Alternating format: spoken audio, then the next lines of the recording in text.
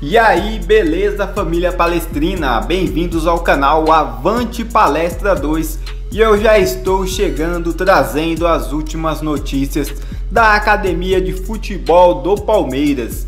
Mas antes de começar o vídeo, quem ainda não é inscrito aqui no canal, já corre lá e se inscreva e ative o sino das notificações para vocês ficarem sempre por dentro de tudo que acontece nos bastidores do Alviverde.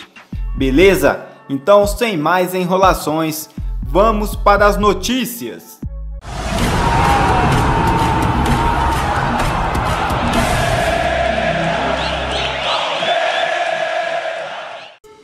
Rapaziada, na visão da diretoria palestrina, vários jogadores falharam no desempenho da equipe em 2019 e devem ser liberados ou negociados a partir de janeiro. E fontes ligadas direta à diretoria do Palmeiras, três jogadores atualmente na reserva de Mano Menezes têm interessado outras equipes para o ano que vem o líder da Série B e favoritíssimo para o acesso à Série A do ano que vem. O Bragantino está com conversas adiantadas com o Verdão para contar com o zagueiro Antônio Carlos, o meia atacante Iora e o atacante Carlos Eduardo. O trio não vem sendo aproveitado nesta reta final do Campeonato Brasileiro e agrada a Zago, que já conta com Vitinho joia das categorias de base do Verdão e cedido até dezembro.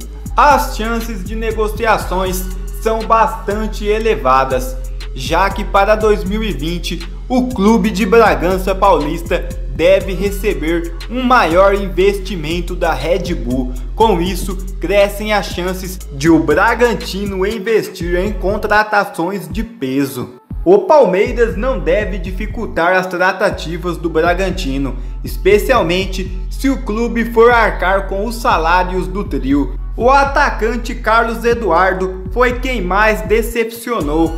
Isso porque o Verdão desembolsou mais de 25 milhões para trazê-lo do Pirâmides do Egito. Um dinheiro totalmente jogado fora por Alexandre Matos. Bom, rapaziada, então na minha opinião, esse trio pode ir com Deus para o Bragantino, porque não vai fazer nenhuma falta para o nosso Verdão. Há uma outra informação que o lateral esquerdo do Santos, Jorge, pode pintar na Academia de Futebol do Verdão em 2020. E durante um evento realizado na Federação Paulista de Futebol para os sorteios do Campeonato Paulista do ano que vem, o presidente das Sardinhas, José Carlos Pérez, confirmou que o Palmeiras de fato realizou uma sondagem pelo lateral esquerdo Jorge. O jogador pertence ao Mônaco da França e tem vínculo com o time do Santos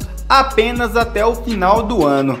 Com problemas financeiros, o Santos não deve ter condições de contratar o lateral em definitivo, deixando o jogador livre para outras equipes. O Palmeiras atualmente conta com Diogo Barbosa e Victor Luiz no elenco para a posição, além do garoto Lucas Esteves das categorias de base. A informação é que o Palmeiras fará uma forte investida para tentar a contratação do jogador em janeiro, logo após o seu contrato com o Santos se encerrar. E aí, palestrinos, o que vocês acham da contratação de Jorge para 2020? Na minha opinião, eu acho que o Diogo Barbosa já vem cometendo alguns erros e Jorge, com certeza, na minha opinião, seria o titular desse time do Palmeiras. Então, para mim, eu apoio a contratação de Jorge. E vocês, rapaziada, deixem a opinião aí nos comentários